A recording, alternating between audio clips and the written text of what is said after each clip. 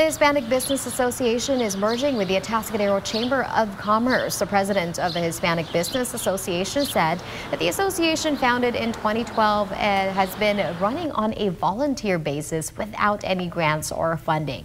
Merging with the Chamber of Commerce would allow the association to connect Hispanic businesses with free resources and network the chamber provides.